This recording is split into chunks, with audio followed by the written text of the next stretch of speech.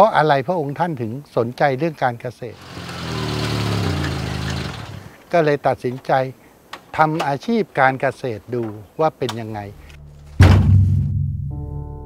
ทันทีที่ซื้อที่ดินได้ก็ได้แต่แค่ที่ดิน แต่ไม่สามารถจะทำการปลูกได้ เราก็มานั่งนึกว่าจะทำยังไงดีเพื่อเอิญชาวบ้านแถวนี้แนะนำให้ไปติดต่อที่ศูนย์พิกุลทอง เพราะศูนย์พิกุลทองกับมีโครงการ ขุดล่องให้ฟรี หลังจากนั้นผมก็ไปติดต่อที่ศูนย์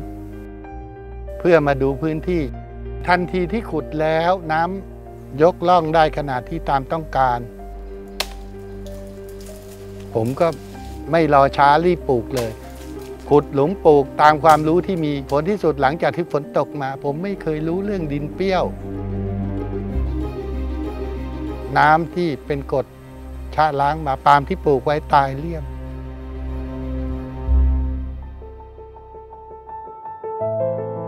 ผม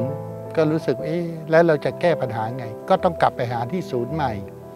ศูนย์ก็ได้ส่งเจ้าหน้าที่มาให้ส่งวัสดุมาให้ปรับปรุง ก็ทำให้รอดพ้นวิกฤตคราวนั้นมาได้ จน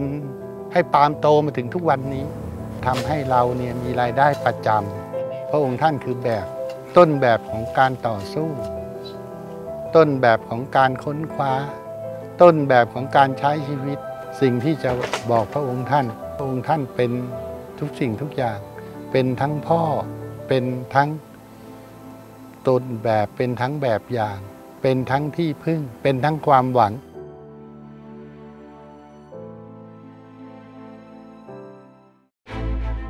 อน้อมรำลึกถึงพระมหากรุณาธิคุณพระบาทสมเด็จพระปรมินทรมหาภูมิพลอดุลยเดชและขอดำเนินรอยตามเบื้องพระยุคลบาทตลอดไป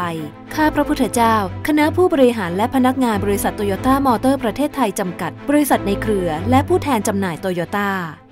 ขอน้อมรำลึกถึงพระมหากรุณาธิคุณ พระบาทสมเด็จพระปรมินทรมหาภูมิพลอดุลยเดชและขอดำเนินรอยตามเบื้องพระยุคลบาทตลอดไป